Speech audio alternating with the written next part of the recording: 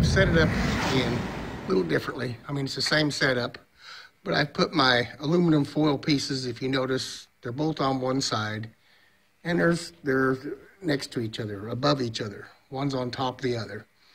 And what you're gonna see next is a little bit of a zoom in here. And I'm gonna put the camera on a tripod so it stays very still. And that way, uh, it won't be my hand shaking that you think is moving things. But the streams will be running and the whole system will be working. And you'll hear the spark down here. And when that sparks is when you'll, you'll see some movement on my the electric or the inductors I've made over here. I'm using one of my regular inductors for this Lord Kelvins to normally work. These are the special ones I made to show this on how I believe uh, this is kind of a good way to show in very close proximity to how water witching works.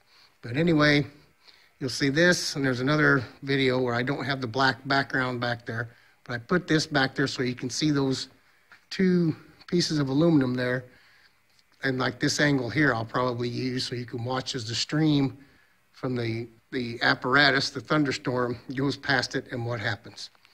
And we'll do that now. Okay, it's running. And the stream is on the far side over here behind them. You see my hand. But I want you to watch what the blades, especially the bottom one does. Uh, you'll hear the spark as the system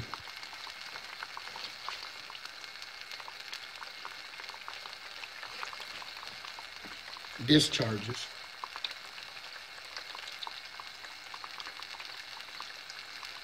And sometimes it takes a little bit for it to get going.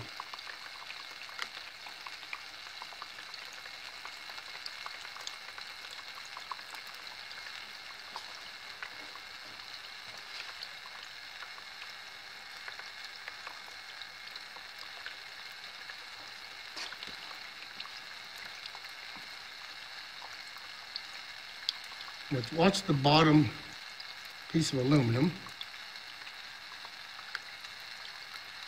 There's a spark. every time you hear that snap,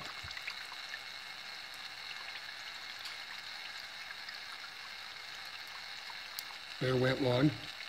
Watch the bottom piece of aluminum. And the top one even moves. If you notice, they both vibrate.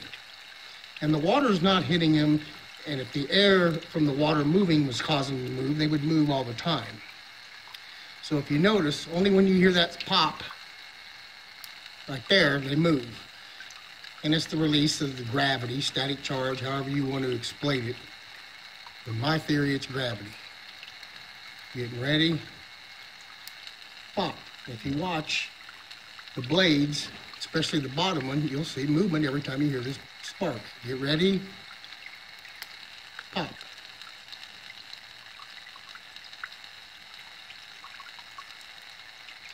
You ready? Pop.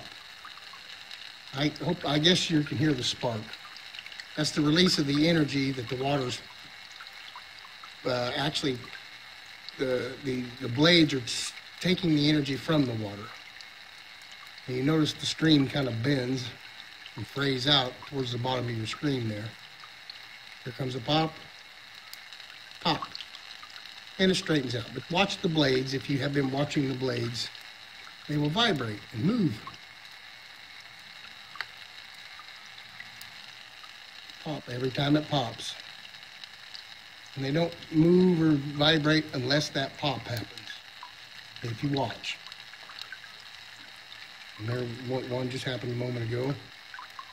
For water spraying, pop. But just keep your eye on the blades. You can play this back and keep your eye, just keep your eye on the blades now that you know when to do it. They move. And the whole point of this, that's how water witching works.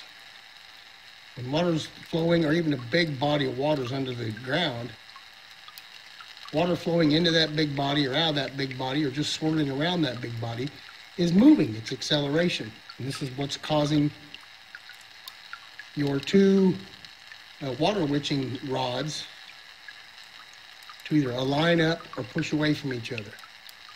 And usually, since our static charge of our bodies, the gravity of our bodies and our feet on the ground, and if you got certain shoes on, you'll be insulated. If you wear certain shoes, you can water witch better than with other kinds of shoes. I've learned that. Just because of the conduction of, there's another one, conduction of gravity through your body to the ground and the static charge that the, the water witching rods are you're charging your body with and how they work with each other. Another one. So I know you can hear the spark, and right when you hear the spark, you'll see the vibration of the, the little aluminum uh, little uh, plates I've put out there. Another one. Now the water's getting low, so the vibration on, on the discharge won't be near as much. I'm out of water. So I hope you saw that and you understand what I'm saying. Okay, I've flipped the video on its side now. So as you're looking at it, imagine that the two blades sticking out are the two uh, water witching rods in your hand sticking straight forward away from you. Like you're that white plastic pipe, those two blades are your hand sticking out, and you're looking from above, I guess. And the water stream going by is, is like a pipe or uh, a little vein of water under the ground that you're you're standing over and you're walking up to it or you're standing over it or you're coming up to a big body of water under the ground. And it's got movement. Whatever water the water witching works on, there's a little bit of movement and gravity is moving through it. That's why it works. And this is what I'm showing you with this. But my point is, just as you watch this in this flipped uh, orientation, just imagine that the two, you know, blades sticking out are the water witching uh, rods in your hands, and the stream is the water under the ground. Just kind of imagine that, if you will. And as the water is underneath you, it's going to pull those towards each other, but that's because of the, the charge of your body, the charge going down each of your arms to each rod, and they're separated, but they are major conductors, as where your body isn't quite the conductor like that a clothes hanger or a piece of copper or whatever you might use for water witching. So anyway, the movement here is just slight, but if you have a huge body of water and you're standing over as this I'm depicting here, they will pull towards each other and they may pull away from each other. I've seen water witchers where they go away from each other. And I can't remember the exact specifics of it. Uh, it may have been what type of water it was or how he, how, how, how he was doing it or something. But most times they cross each other. They come toward each other and get in alignment with the flow of water or the water underneath you. Bottom one, you'll see movement every time you hear this spark. Get ready. Pop.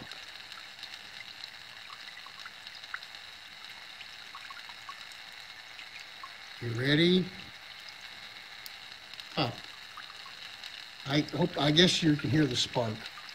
That's the release of the energy that the water's uh, actually, the, the, the blades are taking the energy from the water. And you notice the stream kind of bends and frays out towards the bottom of your screen there. Here comes a pop.